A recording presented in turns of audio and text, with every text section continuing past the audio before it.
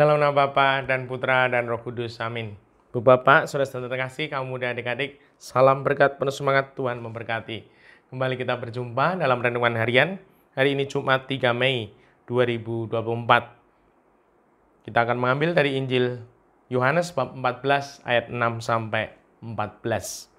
Dalam amanat perpisahannya Yesus berkata kepada Thomas, Akulah jalan kebenaran dan hidup.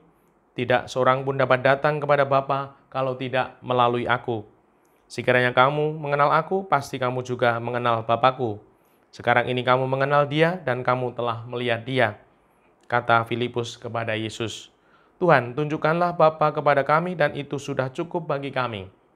Kata Yesus kepadanya, Telah sekian lama aku bersama-sama kamu, Filipus, namun engkau tidak mengenal aku? Barang siapa telah melihat aku, ia telah melihat Bapa. Bagaimana engkau berkata, tunjukkanlah Bapa kepada kami. Tidakkah engkau, tidakkah, tidak percayakah engkau bahwa aku di dalam Bapa dan Bapa di dalam aku? Apa yang aku katakan kepadamu, tidak aku katakan dari diriku sendiri, tetapi Bapa yang diam di dalam aku, dialah yang melakukan pekerjaannya. Percayalah kepadaku bahwa aku di dalam Bapa dan Bapa di dalam aku, atau setidak-tidaknya percayalah kepada pekerjaan-pekerjaan itu sendiri. Aku berkata kepadamu, sesungguhnya barang siapa percaya kepadaku, ia akan melakukan juga pekerjaan-pekerjaan yang aku lakukan, bahkan pekerjaan-pekerjaan yang lebih besar daripada itu.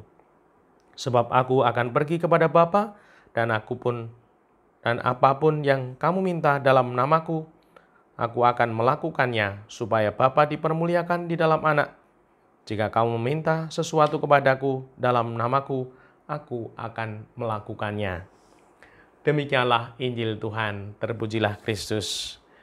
Suatu peneguhan yang luar biasa untuk kita, di mana kita sungguh-sungguh disapa oleh Tuhan melalui Filipus yang bertanya, Tuhan tunjukkan kepada kami Bapa, dan itu sudah cukup bagi kami. Jawaban Tuhan, telah sekian lama aku bersama-sama kamu Filipus, namun engkau tidak mengenal aku. Kita sudah lama menjadi Katolik. Semoga kita semakin mengenal Tuhan dan kita semakin mencintainya. Dan kita boleh bertanya, ketekunan kita itulah yang akan membawa buah iman, harapan, dan kasih dan semoga sungguh kita adalah pribadi-pribadi yang beriman dalam ketekunan, seperti tetesan air yang masuk ke dalam bak. Tetesan itu seperti tidak ada artinya, namun karena ketekunan, karena terus-menerus tetes, maka bak itu akan penuh. Dan semoga tetesan-tetesan itu menjadi suatu gambaran harian kita bertekun di dalam iman, di dalam doa kita. Dan semoga dengan demikian kepercayaan kita makin dalam, makin kuat kepada Tuhan. Dan sehingga dengan demikian kita akan semakin mengikutinya dan mengandalkannya sebagai sumber hidup kita. Dan semoga kita dengan bertekun semakin mengerti dan percaya juga akan karya-karya Tuhan, pekerjaan-pekerjaan baik Tuhan. Bahkan Tuhan mengatakan, jika kamu meminta sesuatu kepadaku dalam namaku, aku akan melakukannya. Di dalam kepercayaan dan iman, ketika kita memohon kepada Tuhan, Tuhan akan menyatakan kuasanya untuk kita.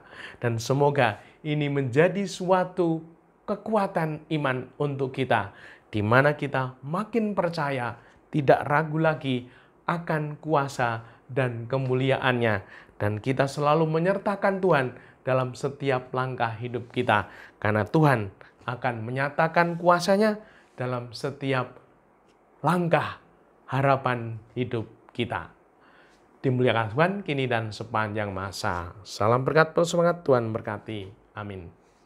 Nama Bapa, Putra, dan Roh Kudus. Amin.